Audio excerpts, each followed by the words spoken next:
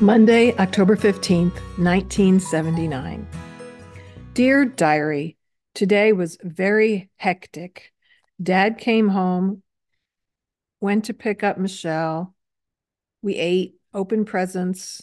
Michelle gave me a lot of Barbie furniture, um, autograph book, Michelle and Dee, um, breakfast, this diary, um, Michelle bubblegum lip gloss, got stuffed animals and games from friends. Um, Aaron, Renee, Jenny, and Jennifer had a good time, ate cookies, cupcakes, chocolate cupcakes. Both grandmas call, talked to them, and Uncle Gary went to bed with all my animals and girl. Had a good, happy birthday. Good night. What what is girl? What is, is that a doll? It was kind of like a stuffed animal doll. I'm not sure where it came from. Well, they have to let them know this was your birthday, right? The Yeah. 15th of October, My um 10th. 10th birthday. Birthday.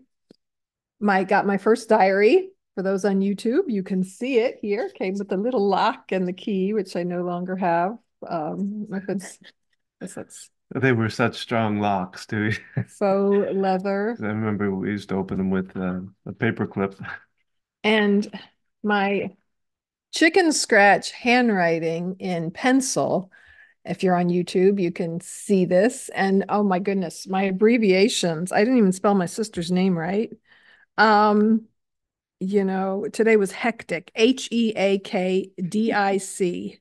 Um,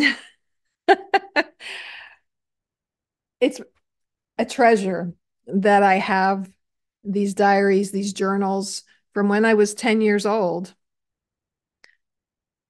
And I've been able to share them with my kids from about this age. I have continued little diaries like this in my teen years. And then as I got older, I kept diaries in notebooks and journals. I invite you to join our I- I'm podcast, just Don. checking our number for this. Sorry. I was while you were talking, I was going to Um, cheat a little bit. And it's just the power of having these stories. Um, I'll read one more. Dear Diary, this is October 16th, 1979. Today I went into the woods. Me and my four friends made a fort. We made a main room, M A N E, with five chairs and a table out of rocks and a, and a rec room with a table and a couple We made a rec room in the woods. Yes, we made like a house in the You have a pool table there, a fizz- foosball, or? I guess that's what we called it. Um, uh, we it was just a mess. It was a wreck. no. Um, do you know what a rec room is? Like Yeah, I know what a, room. yeah. Um, and a couple of chairs which aren't arranged because these boys came and were wrecking our fort. I went with Renee to get Michelle and Coco. Um, when we got there, they had helped us to make the fort. When me and Jenny went home, oh my gosh, Jaggers on us? Writing of a 10-year-old. I don't know. Then Michelle came home, went in. Oh my gosh. Something about birthday. Oh, we something about birthday cake. Probably finished it off. Good night. I don't know, or maybe my dad had been traveling and so we had a celebration with the family. Um, I'm not sure. So hello, this is Don, And this is Gina. and this is podcast number 99. We're right on the cusp of 100 here. Wow. And today we're we're talking about journaling and diaries and and the importance of them and what they can do for us. And Before we do that, though, let's take a little break for our sponsor.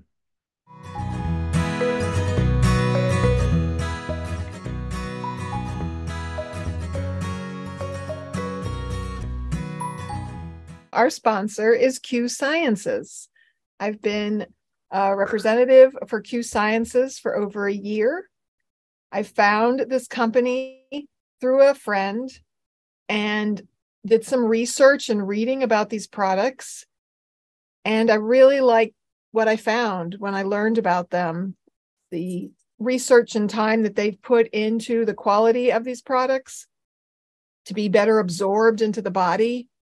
Things like the vitamin D spray. Our youngest was on a capsule vitamin D, and yet vitamin D levels remained the same with follow up checkups. And with the spray, it increased.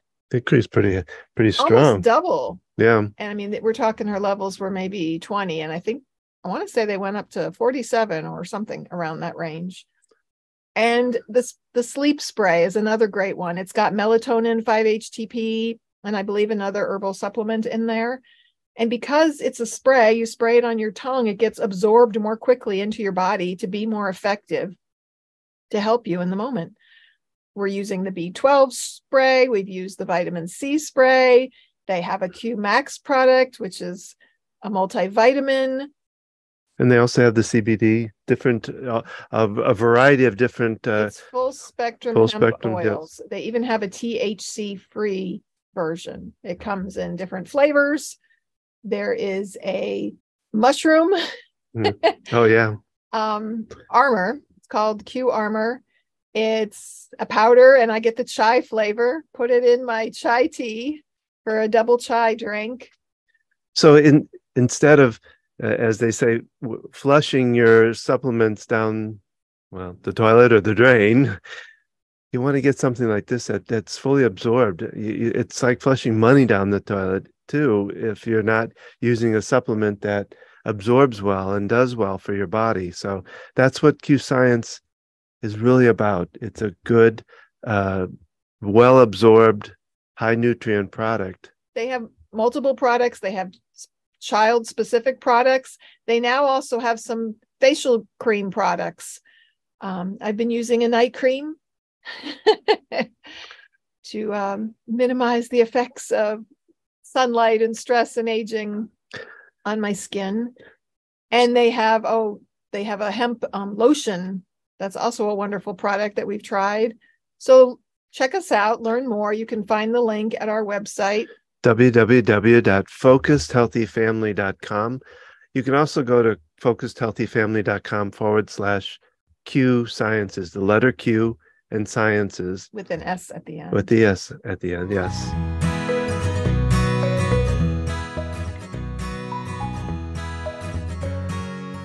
So today I was reading from my very first journal giving to me on my 10th birthday in 1979. We were living in Canton, Ohio. My sister gave it to me as a gift. And I have held on and kept, I have bins of these journals from the age of 10 and being able to pull it back up. I remember sharing with one of my kids and them seeing my handwriting and how badly I spelled things it helped give them some confidence and to know it's okay to make mistakes and not have the best handwriting and be able to spell things. And um and you know what i find interesting as i've read through some of these journals is a lot of the memories i have are because i cemented it in writing because i wrote things down. I you know when i pull things up i'm like yeah i remember that i remember that well, I think you know that cementing is the also the idea of using journaling to to plan or to you know create the future. You know, when you write things down, it makes it, it makes it more creative, more solid. I guess I don't know. So, yeah. I mean, it, it it also cements memories, which is helpful, but it also helps to. I, whenever you write some write down, it really helps to lock it into your into your brain. Mm-hmm. I know for me, especially even like through school, I would take notes and I wouldn't always go back and reread them, but the fact of having written them down was um, helpful. enough. And so, you know, these are great tools that we can use as adults, and they're also ways we can help our kids. You know, a kid can keep a diary and just put whatever they want in there, and that's the beauty of it. I've encouraged my kids from a young age. Our yeah, our middle child. Um, we have notebooks um, that we've recently gone through, and she literally made scribbles like lined Yeah, pa- notebook after line after- pages. And within the lines, before she could even write letters, she did scribbles on like every single line. Yeah, And she would write it and she'd be talking about what she was writing. And I'm sure she had thoughts in her head of what she was saying. Um, I remember one time she would tell me a story and I would write it down for her, what the story was. And um, well, it's kind of like when she used to, she would tell her day's worth of stuff to me when I got home, you know. Oh, well, that was when she was like 10 months old and she would just babble nonstop. but it's empowering to be able to put what kids say into a written word and for them, you know, they feel heard and seen when we can do that for them. With homeschooling my kids, I got like a school planner type of book where I would write down our activities and things. And it was a great way also to write down what we did, to recognize and be able to look back and say, okay, we took a very uh, open, eclectic approach to education and learning and not having structured specific subjects. And to be able to see, okay, we did this field trip and it incorporated all these different skills, um, whether it be learning history, um, science incorporated in there, all kinds of components of of learning and education. And so there's lots of different ideas and things that you can do with your kids. And beginning of the year is a great kickoff time. I love these journals that just have the day of the week in them. Um, so I started this on October 15th because that was when it was given to me. I've noticed the blank pages at the beginning, but And uh, you know, I wasn't consistent. Then I I mean I did start in January. It was like, oh, that's a good time to pull out my journal again. And so I did, that would have been 1980. Um, I mean, all I wrote in here, January 29th, 1980, almost last day. Bye. January 30th, last day of January, almost bye bye. um, January 31st, last day of January. Dear diary, today I got sick in school. I went home early. First day of February. today I did not go to school. Don't feel good. well, you know, and and it kind of brings up another point. Another good factor of doing this, the journaling, is like you have done, is it also helps you get through the anxiety or the stresses or the when you're angry. You you know, I I I remember some seeing some of your journals where this writing was really big and you could you could almost feel the the feelings that were going on, the anger or whatever, the frustration that was behind it. And it's a that's another to me another way of when you write down is it can help help you to Release. release that that the stresses or the anxieties or the anger or whatever it might be. Yeah, when I was a kid, our dog Coco ran away and I wrote about it in my journal. And Just yeah, it was literally process it. It you know, does. It helps you process. And there's a lot of fun journals out there now that you can do with your kids. One of my favorite was the Wreck This journal. Oh yeah. Oh that we got goodness. for our youngest. And it tells you to do things like stomp on it and scribble on this Go page. down the stairs, Um, rip this page out and like all know, different soak kinds it of in water, I think, you know, stuff like that. So yeah, it was those are those are cool. um th- there's so many different ways. And so, you know, even just having a pretty notebook, pretty colored pens. It's a Uh, form of expression, you know, in a way. mhm. You you, uh, you like to get very colorful journals. I don't journal, and I don't know. I I just never had that introduced to me to the We idea. have gotten, we have done some together Yeah. journals that I've bought for, and I have on occasion. We have, I didn't bring it in here, but um, We did those BK we before kids. we have, well, we have the Mother's Heart Journal, and you have one too as well that we've filled in memories. It's kind of storing the memories now so that later uh, that our kids can read from them when we're older. Well, and also like I have the, and I don't know if we both have the, the father's. It, I would say it's kind of like a journal, but it, you know, it, it goes through my history of stuff. It's Just what I was describing. Yeah. Well, Yeah, that's what I'm talking about. well, you were talking about memories. This is more like almost kind of factual in a way too, about you know what you were like as a kid and and how how you did things and like I think it's the same journal. I Um, could actually go could go get it. Maybe I should go get it and read something out of it. that's okay. We'll save that for next What? time so you don't You get to read out. You don't get to read out mine. You feel like you're not getting a chance to read and, Express myself. and share. Yeah. We'll, we can incorporate. That'll be that. another day. We could we could talk about, you know, how to, you know, do another journal, another journal, another podcast on on writing and how to, well, how to leave a kind of your legacy in a Oh, way, yeah, uh, is that's well, what- kind of what that's about, I That's think. what So those journals were kind of a set up for. podcast. I'll do it then. So, you know, having sitting with your kids, even really young kids, giving them that opportunity that we're going to do this together and not having expectation of what they can do.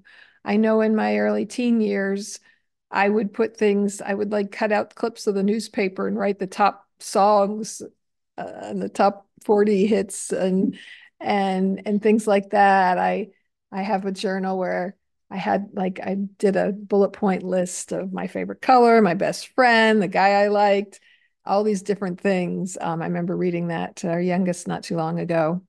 Well, what were you saying? Didn't you write like you used to write out the, the actual whole lyrics of a song too? Didn't you? You'd sit there and you, I think you told me you'd stop the recorder, I right? did that a, a couple of times. Yeah, that wasn't really a journal thing per se, but back in the 70s and 80s, if you wanted to know the lyrics, well, and I got cassette tapes that didn't usually come with the lyrics in them, or maybe I didn't even have. I just I would record it off the radio onto my little cassette tape, and then I would slowly play it back. I know I did it for Eye of the Tiger and write out the lyrics. And of course, there's always some sections where you don't know what Can't they're understand what they're saying. saying, so you kind of make it up. And um, yeah, to be able to to learn the lyrics of a song and to be able to remember it, um, that kind of stopping and starting and stopping and starting. So writing, you know, there's so many fun ways to do things like this. We've talked about gratitude journaling before. It can be a great way to start the day or end the day, something you can do with your kids. You can have your own, you know, our example is the best teacher.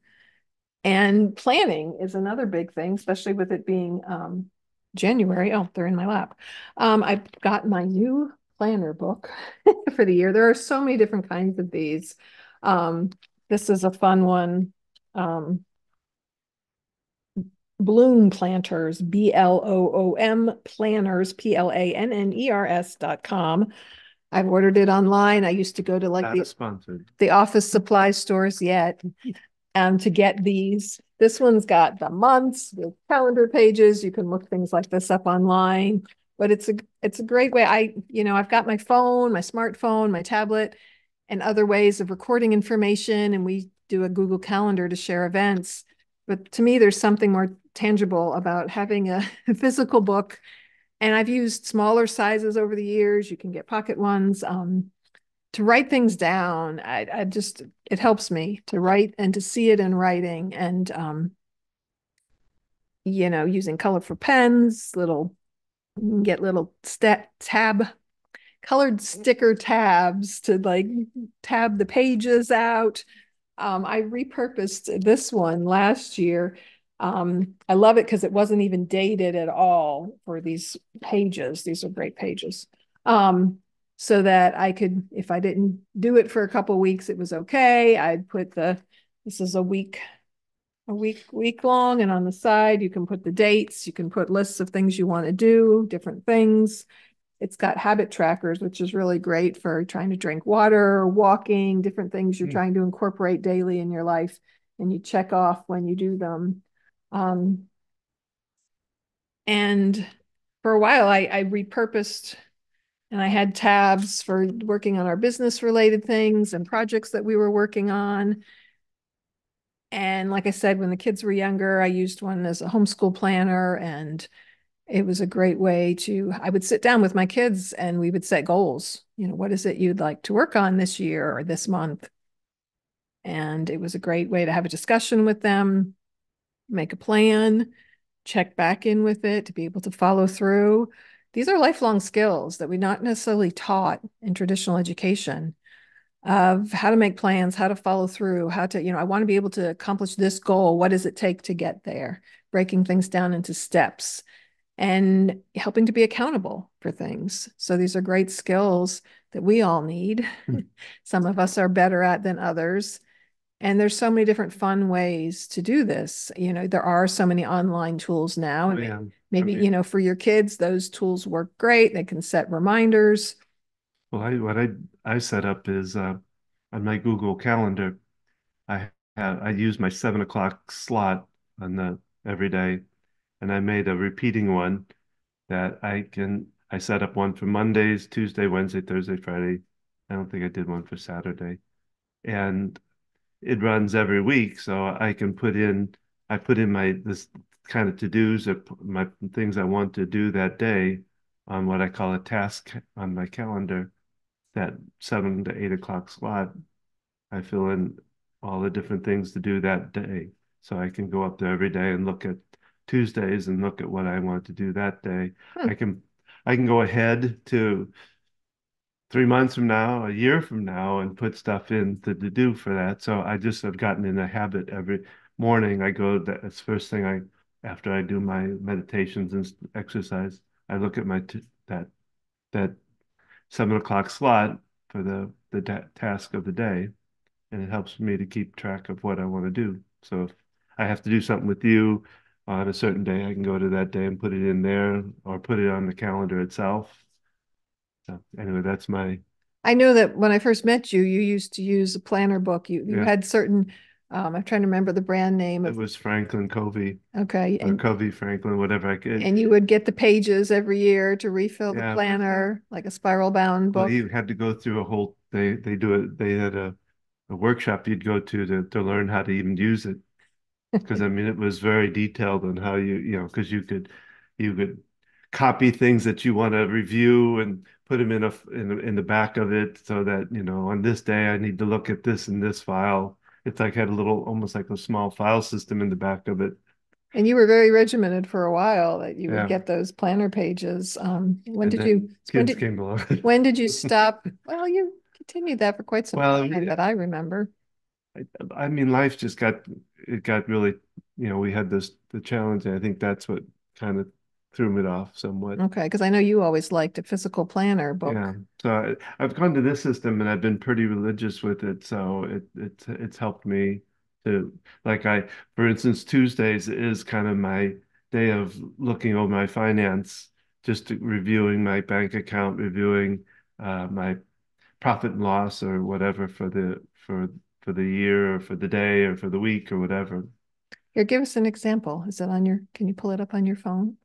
Uh, yeah, I could share it, I guess. Oh, I just, Share a screen. oh, okay. Um, I don't know if I want to share screen and show my, No, just pull it up on your phone and you can read to us an example of what, um, what things might look like for you on a particular morning, having a reminders of, so.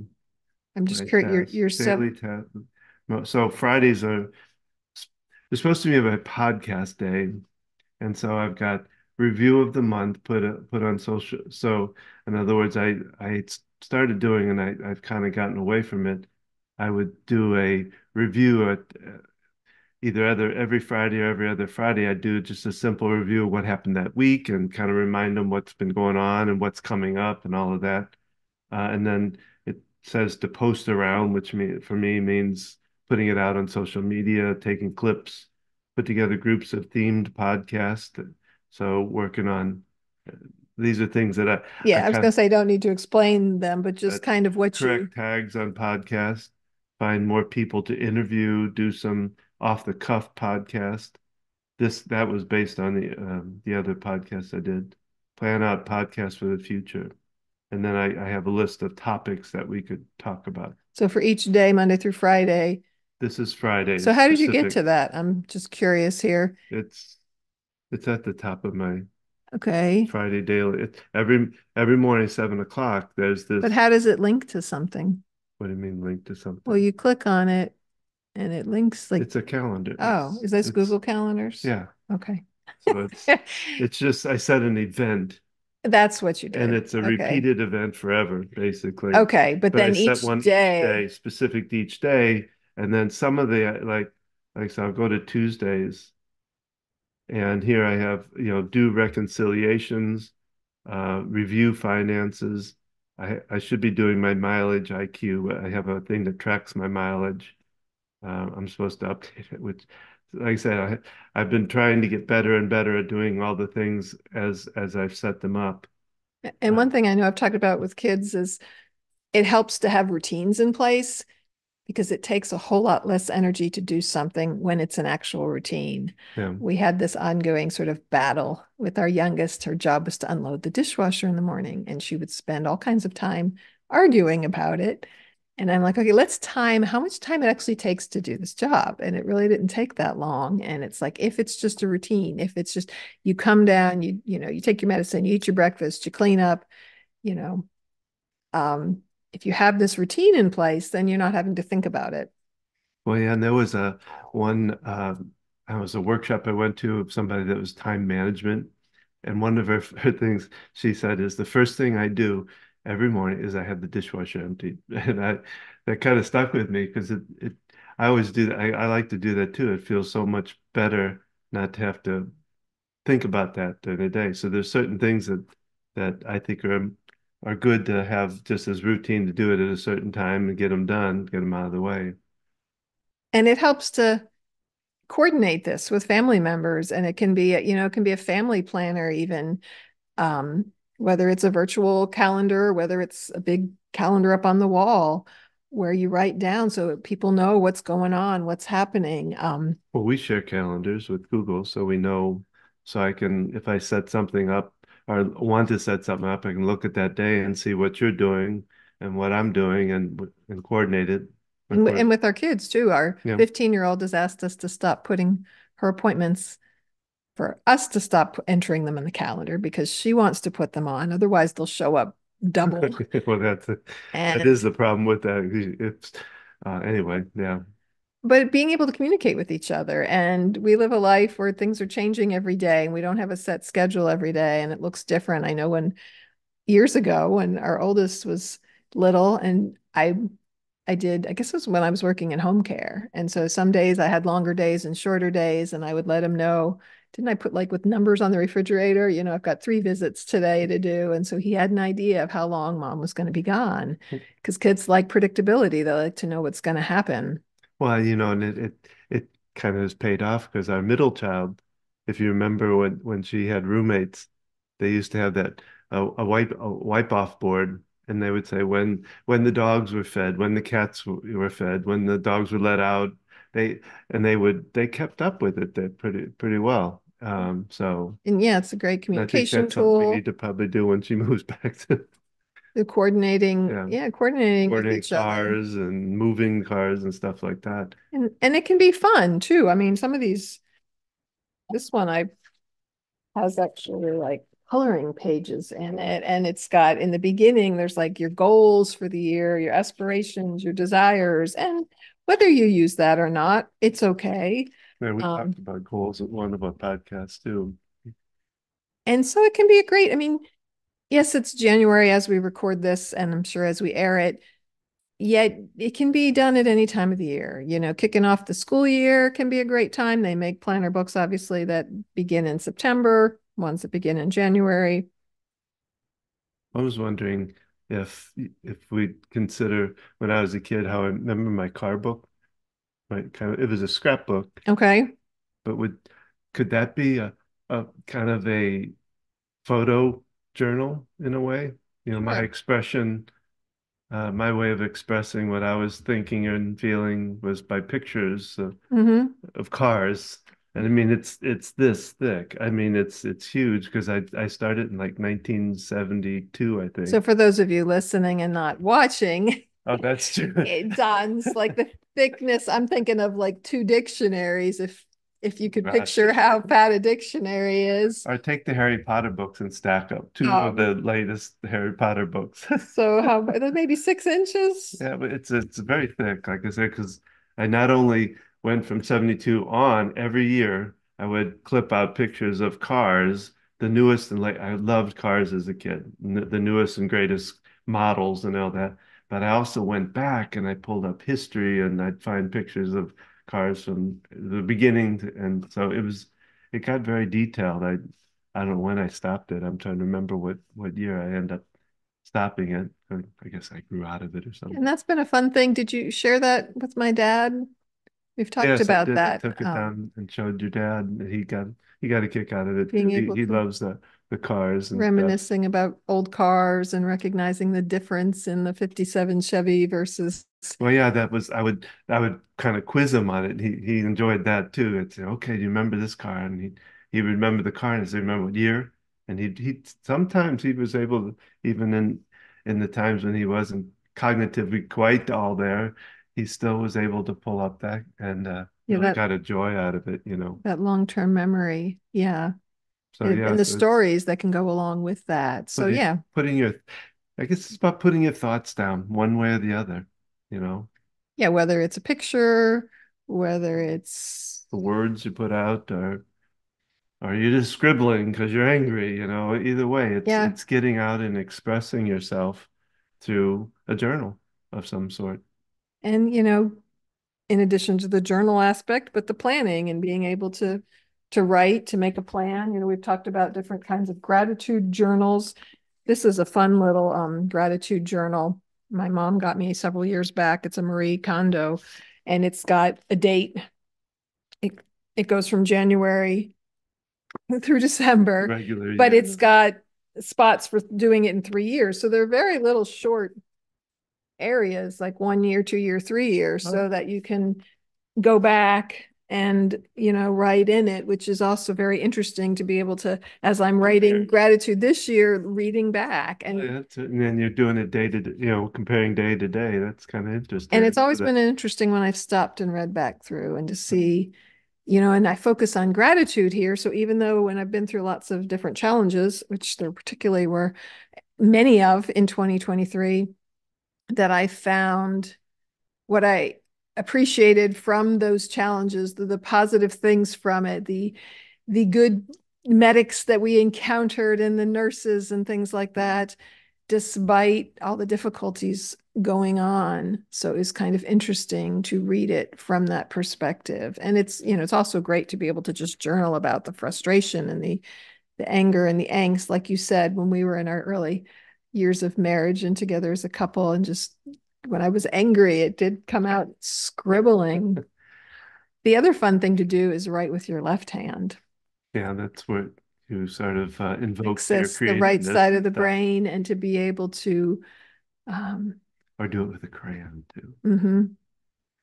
um which is funny because I would always the notes from Santa Claus and Tooth Fairies, I'd write Right and left hand, so left-handed wouldn't and look like yours or letters from Harry, I- from Harry Potter. I remember one of the kids saying, gee, Santa Claus writes like the Easter Bunny.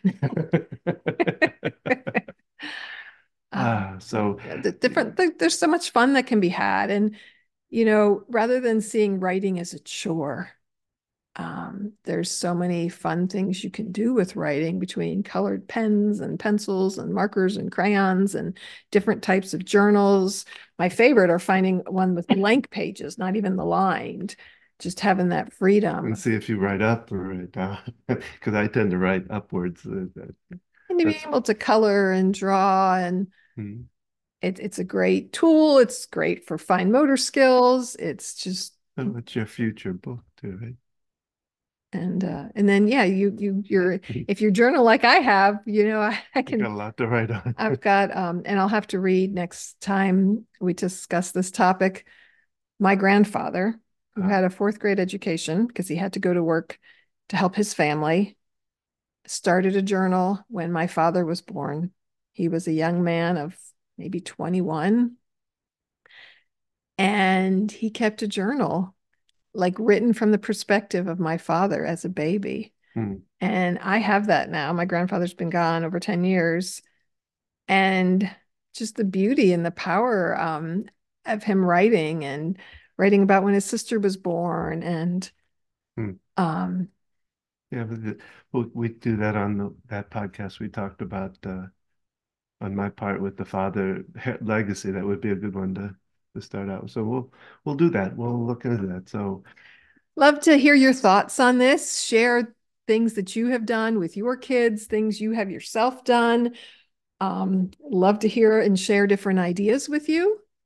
And we'd love you to share this podcast too with somebody that you know might find this a parent or or that might find this interesting, please share it. We'd love to have it shared and and, and of course getting their comments and thoughts too.